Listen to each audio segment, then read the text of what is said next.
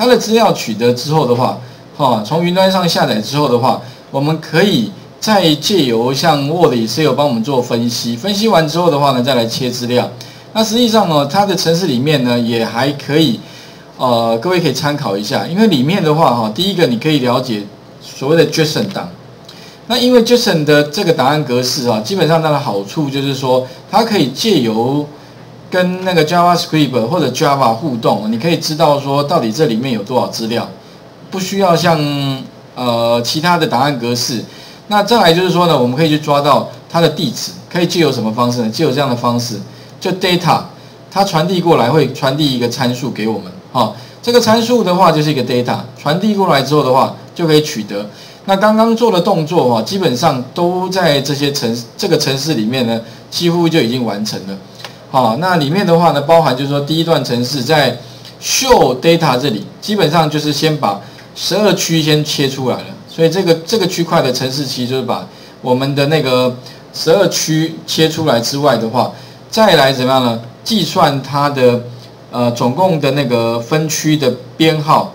跟那个旅馆的相关资料，还有分区的名称等等的，然后放进来。不过这里的话，各位可能要了解一下，就是说上面它有宣告有三个阵列，这三个阵列包含就是什么呢？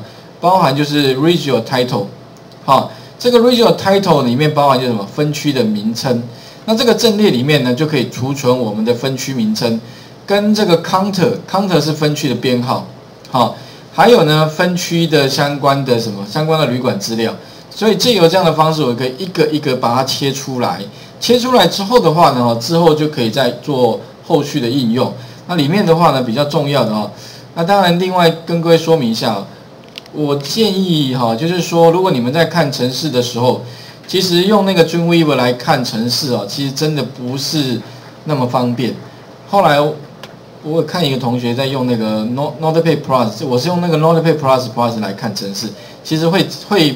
我觉得看城市的啊相关功能哦会比较强大一些些。我建议各位也可以用这个方这个这个来看哦，因为我平常也习惯用这个来读取一些这个城市。不过你你们可以怎么做哦？特别注意就是把这个 j u 里面的城市啊，因为你会发现它这个地方里面几乎很多颜色都出来，你可以把它全选，复制之后有没有？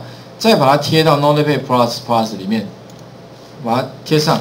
但是贴上哈。它不会帮你做一些颜色的变变更，你可以怎么样呢？特别只有教过一个方法，就是说你可以从城市语言